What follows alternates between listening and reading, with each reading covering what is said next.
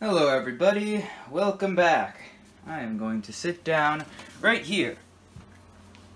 Alright, make space, come on. we got a custom built desktop today. This thing's pretty cool. Case is pretty generic. I don't see any brand branding or anything on it, so I don't know who made it. But this thing's kind of cool. So it was it's, it's interesting because it was built by the previous owner's son. The previous owner isn't super tech savvy, but it seems to have been built as a decently high-end system. I'm just peering in there. It has a dedicated graphics card. It ha the RAM has heat sinks on it as well. It's got a LightScribe drive. I don't know much about the specs. I saw the system properties once, and I forget it was like a month ago. Um, because I had to get some get around to getting some stuff off of it before giving it to me, and um, I it, it was an AMD system. That's all I really remember, and it's like 2005ish.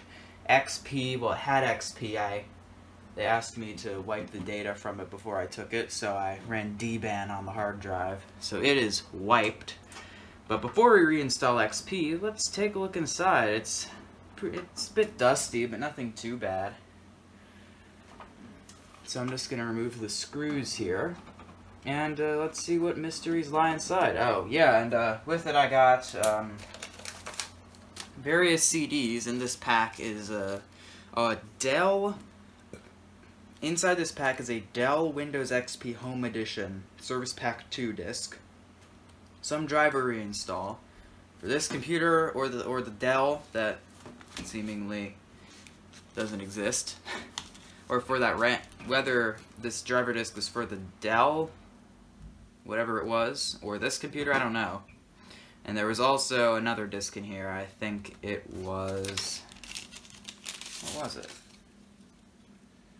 Ah, Office 2003 Professional. Burned disk. Alright. Let's see what secrets lie inside.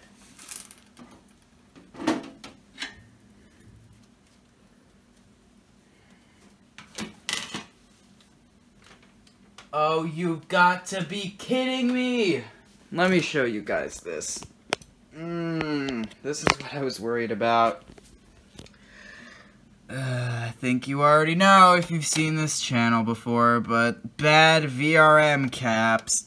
Dang it! oh, you're kidding. I'm gonna have to recap it. Lovely. Alright.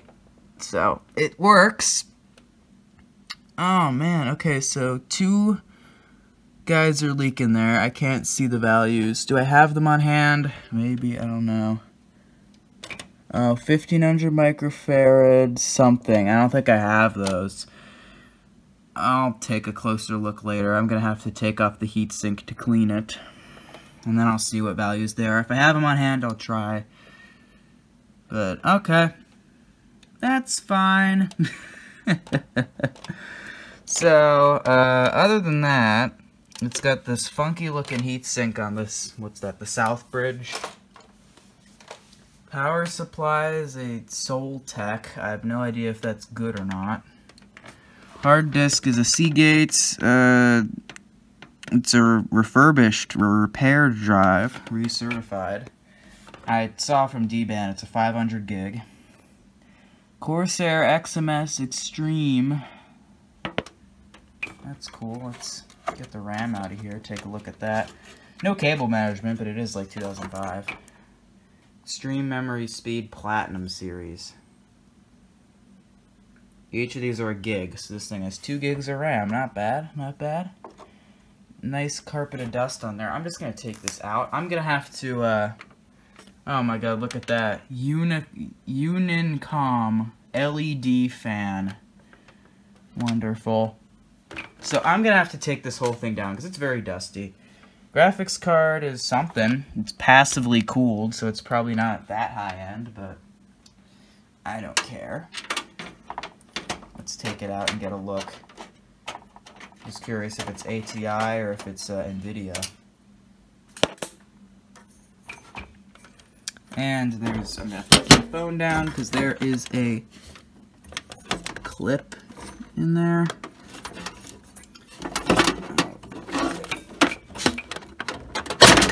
Got it. The clip came out with it. Alright. Uh, it's an Asus OEM card. Um, it's a blue PCB, so I'm guessing this is an NVIDIA. 8400 GS, maybe? Is that the type of card? I'll look it up. Alright. That'll need a cleaning. My hands are already covered in dust. There's something, dual video cards. I'm not sure what that is. It looks like a laptop DIMM, but it's not. Is that some sort of early SLI type thing? I don't know. Does the... Do we got a floppy header? Yeah, there's a floppy header. There are 3.5 inch bays, so I might add a floppy drive. Oh no, you know what? I could add, I could add a zip drive to this because it's actually got like actual three and a half inch bays, and I have a spare zip drive. It's beige, but I don't care, and it does work. It does work as well. I've tested it. So yeah, that's that's cool. Uh, let's see if I got those caps in stock, and maybe we can get them changed today. I doubt it, but these can use similar values. Uh, motherboard's an Asus board. Well, that's good news. Those are 1500 microfarad 6.3 volt caps, and I've got them in stock. I got four of them here from my Dimension E510. So, I should be able to replace them today. I don't have to make a Mouser order. Now there are more of them. It appears there are five. I only got four spares. So, for now I might just replace the bulging ones. Also, since these ones are uh, wider than the originals, so it'll be a bit tricky to fit them in, but I'll be able to fit them in, I'm sure of that. And uh, yeah, alright, so let's go ahead and get the board out and we'll recap it and hey, recapathon part 6, yeah, ugh, no, this is just, this isn't about the caps, this is about getting this thing set up, so, and cleaned, and we just, this just part of it, so, yeah, mm-hmm.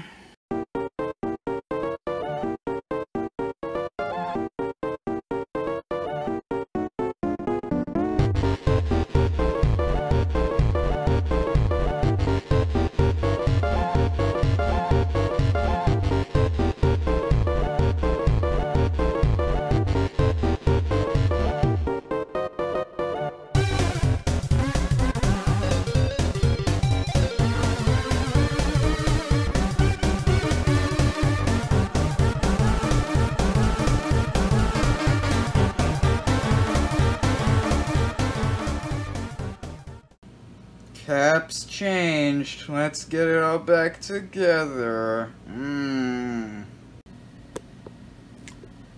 Alright. Let's see.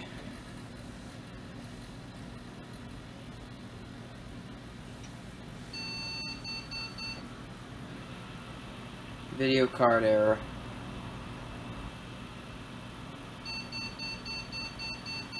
Alright, so that's happening again. Alright, alright. So I did a quick test off camera, and it's giving me, an, giving me an error about the video, so... Does this thing have integrated VGA? Nope. Hmm. Alright, time to go and do some reseating. Alright, let's try this again. Come on now. Come on.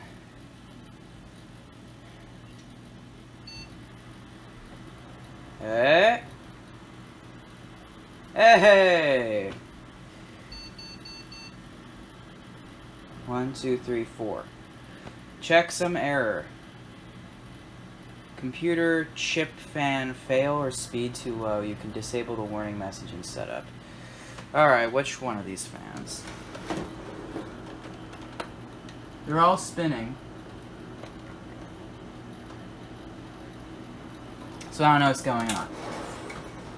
I'm just gonna assume it's okay until it isn't. Alright, alright. Let's get this thing set up, shall we? F1. Oh boy. Um, I'm gonna need some Windows XP disks, aren't I? Oh, and it's booted up into DBAN. How nice. What's cool is this thing has a reset button, and it looks like I got it plugged in back to the right stupid header. I hate those things. It's my first time dealing with them. But, uh... Yeah, okay, so what's this? Computer chip fan. Fail or speed too low. Why does this always happen? I swear, three different computers I've come across have had fans that spin and have never had overheating issues, and yet I get that warning. I don't get it. Anyway, good to see the reset button I at least plugged back into the proper header. That's nice. I'm gonna get X I'm gonna get all the OS stuff dealt with because you don't need to see that, and uh, then I will come back and update all of you. Ugh. Right. So, um, in typical fashion for me, it has been months since all that you just saw was recorded. So, it's set up, mostly. Um, you'll see what I mean in a second. So, quick, let's talk specs. So, this thing has an... It's newer than I thought. And that is what I was talking about. I swear I did the activation patch, but it's undone itself. So that's lovely. But it is, I just need to go into safe mode and rerun that, and I think it'll be fine. So I'll deal with that later. But uh, anyways, so I got it all set up. It works just fine, which is nice. It is newer than I thought. This thing has an Athlon 64X2 in it. So this thing's dual core 64-bit. So yeah, quite interesting. So this is probably dating from like 2006, 2007 maybe even, and that's strange that the caps went bad, because I think by 2007 they were all in the clear, I guess not, but whatever. So it's got 2 gigs of RAM, NVIDIA GeForce 8400 GS, which is not a good card. I put text on screen earlier, but yeah, not a good card. And, uh, pretty basic. It's got that LightScribe drive in there. Nice clicky reset button here that is just all too satisfying to just click and uh, yeah, it's a nice little system. I could I should probably put Vista on this honestly. I don't know if the card in here can handle Aero. It should be able to. Yeah. So that's all. Uh, thank you all for watching, and I'll see everyone next time. Have a good day.